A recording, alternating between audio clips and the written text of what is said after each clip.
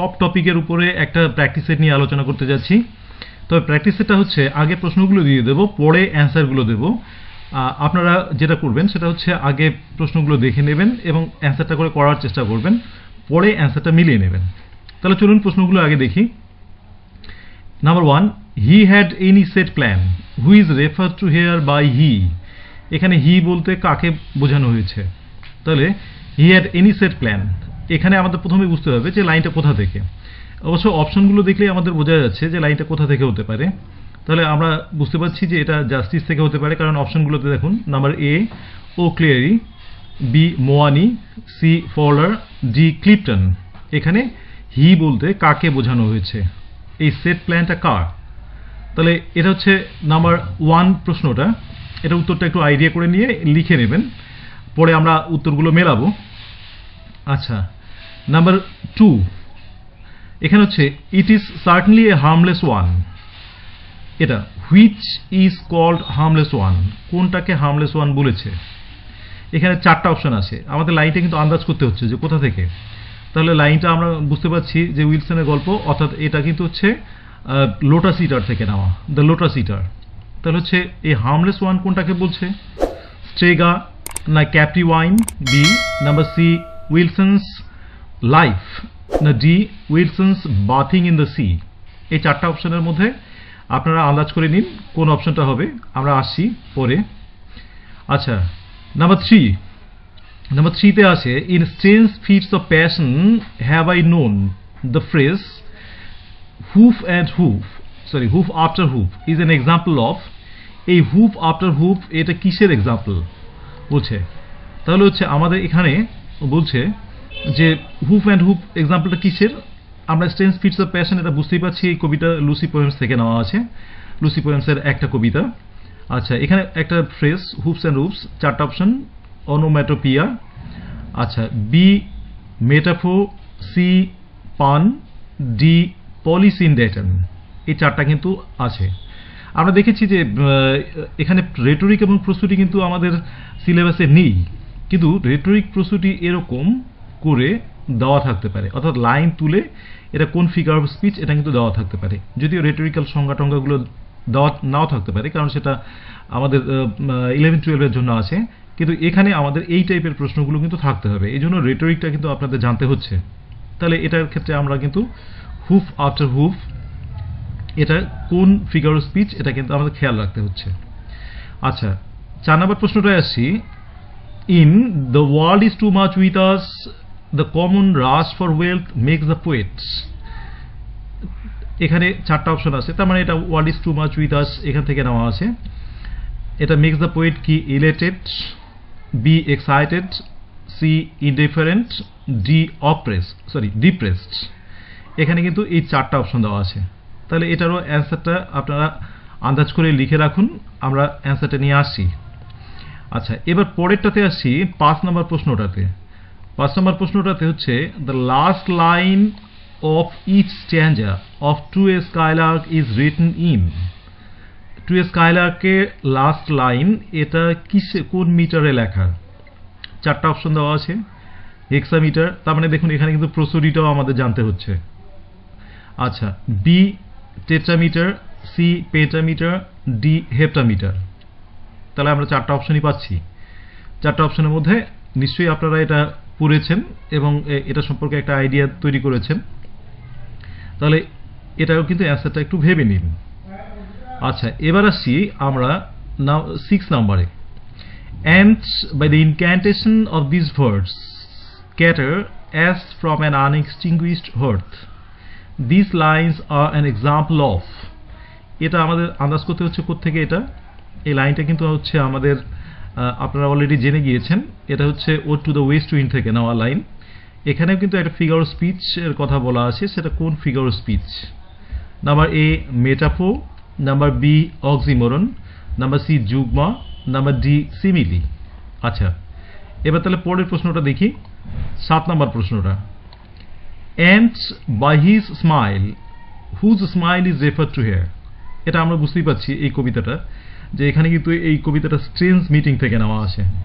চারটা option the German soldier the English soldier Satan Beelzebub তাহলে কোনটা অ্যান্সার হবে? আচ্ছা এবার আসছি পরের প্রশ্নটাতে। The horse champ the grasses in the forest কোথায়? কোথায় চ্যাম্পিং করছিল? আপনারা নিশ্চয়ই জানেন যে এই লাইনটা বা এই ঘটনাটার কথা বলা আছে হচ্ছে দ্য লিসনার্স কবিতাতে। তাহলে চারটা option the ferny floor green meadow C হচ্ছে leafy trees D thick bushes এই চারটা অপশন দেওয়া আছে।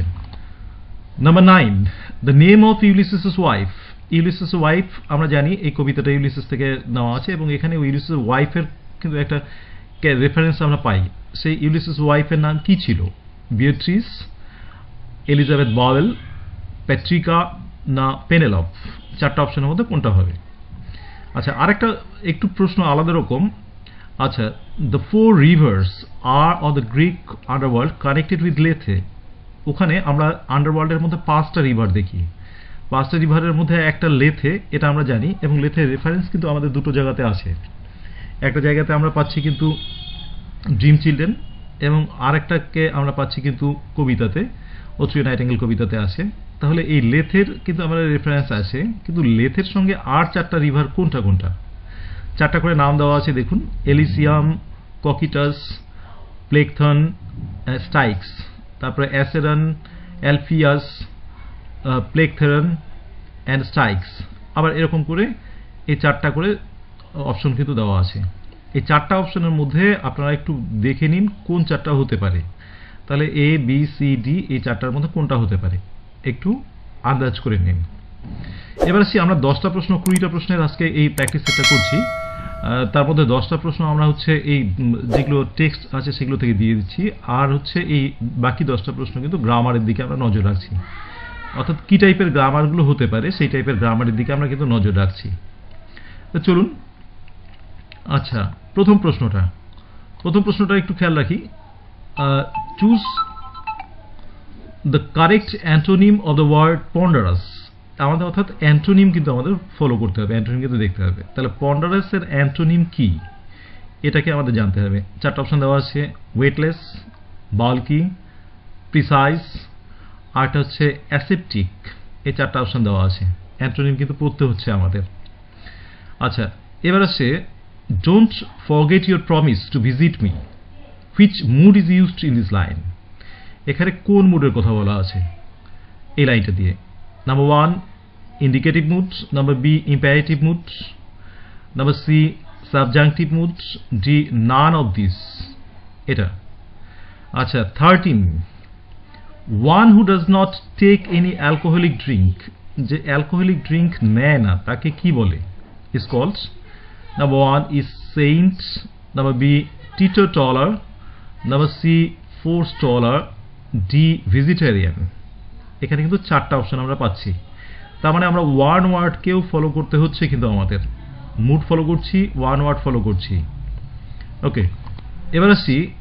অ্যাট লাস্ট দ্য রায়োটার্স এখানে ফিল ইন দ্য ব্ল্যাঙ্কস দেওয়া আছে, পাশে দেওয়া আছে রিট্রিটেড আচ্ছা tick the correct alternative for the blank এখানে কিন্তু ফ্রেজাল ভার্ব দেওয়া আছে। তার মানে ফ্রেজাল ভার্ব কিন্তু আমাদের গ্রামারের মধ্যে দেখতে হচ্ছে। কি কি দেওয়া আছে? A fell back B fell in C fell through D fell out এটা কিন্তু আসছে।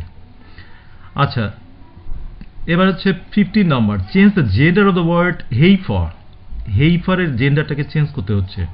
তার মানে জেন্ডার আমাদের দেখতে হচ্ছে গ্রামার কিন্তু আমাদের একটা নাইন টেনের ক্ষেত্রে গ্রামার কিন্তু একটা ভাইটাল পার্ট এটা কিন্তু খেয়াল রাখতে হচ্ছে। তাহলে হচ্ছে হেই ফরের জেন্ডার কি হবে? এক number A cow number B bullock number C mare number D stag. Okay? তাহলে এই চারটার মধ্যে কোনটা হচ্ছে? আচ্ছা number sixteen as you sow so you reap which of the following is the simple sentence of this line তার মানে হচ্ছে ট্রান্সফরমেশন অফ সেন্টেন্স গ্রামারের মধ্যে কিন্তু দেখুন। তাহলে এখানে চারটা অপশন আছে inspite of sowing you will but reap the fruits এখানে একটা বলছে আচ্ছা নাম্বার বি বলছে he will but sow and reaping the fruits number C বলছে he will sow and then reap the fruits number D he will but reap the fruits of your sowing চারটা কিন্তু এখানে option দেওয়া আছে। অ্যান্সারটা ভেবে নিন আসছি আমরা। আচ্ছা নাম্বার সেভেন্টিন নাম্বার সেভেন্টিনে আসছি fear of dog is called ডগের ফিয়ারকে কি বলে? অর্থাৎ আমরা কুকুর দেখে যারা ভয় পাই, সেই ফিয়ারটাকে কি বলে? এক নাম্বার হচ্ছে cinemophobia number B bathophobia number C agoraphobia number D cynophobia তাহলে চারটা অপশনের মধ্যে কোনটা হবে? আচ্ছা পরেরটা সি নাম্বার এইটিন। এইটিন নাম্বারটা হচ্ছে had you seen the stranger which one is the correct passive voice of the line কোনটা হচ্ছে কারেক্ট প্যাসিভ ভয়েস অর্থাৎ এখানে কিন্তু ভয়েস চেঞ্জ করতে দিয়ে অপশন দিয়ে দিছে এইভাবে আমাদের কিন্তু এটা খেয়াল করতে হচ্ছে এমসিকিউতে আমাদের এইভাবে অপশন দিয়ে দেয়। তাহলে আমরা অপশনগুলো খেয়াল করি had the stranger been seen by you number B had the stranger saw by you was the stranger seen by him had the stranger being seen by you কোনটা হচ্ছে আমাদের কারেক্ট প্যাসিভ ভয়েস হবে এই লাইনটার? তাহলে আমাদের কিন্তু voice করতেই হচ্ছে, আমরা ভয়েস করছি প্র্যাকটিস আমরা এখানে প্র্যাকটিসেরগুলোতে ভয়েস করব এবং আমরা মোটামুটি আশা করছি কিছু কয়েকদিন পর পর প্র্যাকটিস সেটগুলো দেওয়ার তো প্রস্তুত থাকবেন। নাম্বার নাইনটিন আচ্ছা the meaning of the idiom ইডিয়ামের কিন্তু meaning Adam's ale is Adam's ale এর মিনিংটা কী হবে? তার মানে ইডিয়ামের কিন্তু আমাদের অপশন থাকতে পারে। আচ্ছা number A critical test number B incomplete disorder number three at midnight number D pure plain চারটা অপশন কিন্তু দেওয়া আছে। তাহলে চারটা অপশনের মধ্যে আমাদের এখানে কোনটা উত্তর হতে পারে? আচ্ছা শেষ প্রশ্নটাতে আসছি I have no aspiration dash riches fill in the blanks with appropriate prepositions অর্থাৎ অ্যাপ্রোপ্রিয়েট প্রিপোজিশন দিয়ে ফিল ইন দ্য ব্ল্যাঙ্কসটা করতে হবে। এবং এখানে কি বসবে অ্যাপ্রোপ্রিয়েট প্রিপোজিশন তাহলে অন ফর অফ ইন চারটা অপশন আছে। তাহলে এটা হচ্ছে প্রশ্নটা আমরা আগে বুঝে নিলাম। এবার এর অ্যান্সারগুলো কি হতে পারে? এবার অ্যান্সারগুলো আপনারা যারা অ্যান্সারগুলো করেননি, এমনি টুকেননি, একটু দেখে নিন বা জেনে নিন অ্যান্সারগুলো তাহলে চলুন একটু দেখে নিই। নাম্বার এ তাহলে he has any set plan এখানে সেট প্ল্যান বলতে এখানে হি বলতে কাকে বোঝানো হয়েছে? হি বলতে কিন্তু এখানে বোঝানো হয়েছে হচ্ছে মোয়ানিকে। হি বলতে কিন্তু আমরা পাচ্ছি মোয়ানিকে। মোয়ানি হচ্ছে এখানে রাইট অ্যান্সার আচ্ছা নাম্বার টু আছে it was certainly a harmless one which is called harmless one কোনটাকে কিন্তু হার্মলেস বলা আছে? আমরা চারটা অপশন দেখেছি, আপনারা উত্তরটা অলরেডি এরা আন্দাজও করেছেন। উত্তরটা কিন্তু রাইট উত্তর হচ্ছে উইলসনস লাইফ এটা কিন্তু হচ্ছে রাইট অ্যান্সার হবে। অর্থাৎ দুই নম্বরটা হচ্ছে হার্মলেস ওয়ান বোঝাচ্ছে উইলসনের লাইফটাকে এই সেন্টেন্সটাতে আচ্ছা এবার আসি তিন নম্বরটাতে in strange fits of passion have I known the phrase hoops after hoops is an example of আমরা অলরেডি অপশনগুলো নিয়ে আলোচনা করেছি, এই অপশনটা কিন্তু হচ্ছে অনোম্যাটোপিয়া হবে। এই যে, এটা হচ্ছে রাইট অ্যান্সার হবে। আচ্ছা চলুন এবার চার নাম্বারটাতে আমরা একটু দেখে নিই। চার নাম্বারটাতে হচ্ছে in the world is too much with us the common mad rush for wealth makes the poet কীরকম বানিয়েছিল? তাহলে চারের অপশনটা হচ্ছে রাইট অ্যান্সারটা হচ্ছে ডি ডিপ্রেসড বানিয়েছিল। আচ্ছা পাঁচে আসি। পাঁচে the last line of this stanza of to skylark is written in এটার অ্যান্সারটা হবে হচ্ছে, আমরা কিন্তু জেনে, জানি এটা। এটার অ্যান্সারটা হচ্ছে হেক্সামিটার এটা কিন্তু একটা বড় লাইন দিয়ে শেষ হয়, প্রত্যেকটা লাইনই টু স্কাইলার্কের এটা কিন্তু হেক্সামিটারে লেখা। আচ্ছা এবার আসি ছয় নম্বরটাতে। ছয় নম্বরটা হচ্ছে ants by the incantation of this verse, scatter as from an unextinguished hearth these lines, দুটো লাইন আছে, আর an example of, এখানে একটা এক্সাম্পল দেওয়া আছে, সেটা কিসের এক্সাম্পল সেটা এখানে আমাদের খেয়াল করুন, এখানে অ্যাজ আছে। সুতরাং আনএক্সটিংগুইশড হার্টটাকে আমরা অ্যাজ দিয়ে আমরা সিমিলি পাচ্ছি কিন্তু, এখানে সিমিলি আচ্ছা নাম্বার সেভেন সেভেন দেখুন and by his smile whose smile is refer to here এখানে কার স্মাইলের কথা বলা আছে। তাহলে এটার উত্তরটা কিন্তু হচ্ছে, আপনারা অলরেডি আইডিয়া করে নিয়েছেন যে এটা জার্মান সোলজার আচ্ছা আট নাম্বারটা হচ্ছে the horse champ the grass grasses in the forest কোথায়? সেটা কিন্তু আমাদের আন্দাজ করতে হচ্ছে। তাহলে এটার অ্যান্সারটা রাইট অ্যান্সার হচ্ছে ফার্নি ফ্লোর এটা। আচ্ছা এবার পরে আসি, নয় নম্বরটা। দেখুন the name of Ulysses wife is ইউলিসেসের ওয়াইফের নাম কি? এটা আমরা জানি ইউলিসেস ওয়াইফের নাম। আমরা যখন ইউলিসেসের ভিডিওটা দেখেছি, এটা নিয়ে আলোচনা করেছি পেনেলফ এটা কিন্তু আছে। যদি না দেখে থাকেন, তাহলে একটু ভিডিওটা দেখে নেবেন। আচ্ছা এবার হচ্ছে দশ নম্বরের উত্তরটা। Number ten the four rivers of the Greek underworld connected with Lethe লেথের সঙ্গে যে চারটা রিভার আছে, এটা কিন্তু এই যে এইটা অ্যান্সার অ্যাসেডন ককিটাস প্লেগেথন অ্যান্ড স্টাইক্স এই চারটা কিন্তু হচ্ছে এই লেথে বাদ দিয়ে আরও চারটা রিভার ওখানে আছে আন্ডারওয়ার্ল্ডে আচ্ছা এবার আসি গ্রামারের অংশটাতে। তাহলে গ্রামারের অংশটাতে খেয়াল রাখুন একটু। গ্রামারের অংশটা হচ্ছে এগারো নম্বরটা। Choose the correct antonym of the word ponderous পন্ডারাসের বিপরীত শব্দটা কি? পন্ডারাস পন্ডারাসের অ্যান্টোনিমটা কিন্তু হচ্ছে ওয়েটলেস এই যে দেখুন ওয়েটলেস আচ্ছা এবার don't forget your promise to visit me which mood is use in this line কোন মুডের কথাটা এখানে মানে কোন মুড এখানে ব্যবহার করা আছে? তাহলে এটা কিন্তু আমরা জানি ইম্প্যারেটিভ মুড এই এই টাইপের মুডগুলোকে এটা মোডের দিক থেকে ইম্প্যারেটিভ মুড বলা হয়। এবার আসি ওয়ান ওয়ার্ডে একটু দেখুন। One who does not take any alcoholic drink তাকে কি বলে? যিনি অ্যালকোহলিক ড্রিঙ্ক নেন না, তাকে বলে কিন্তু হচ্ছে টিটো টলার এই যে এটা টিটো টলার এই অ্যান্সারটা আচ্ছা চলুন তাহলে ফর্টিন নাম্বারটা দেখি এবার।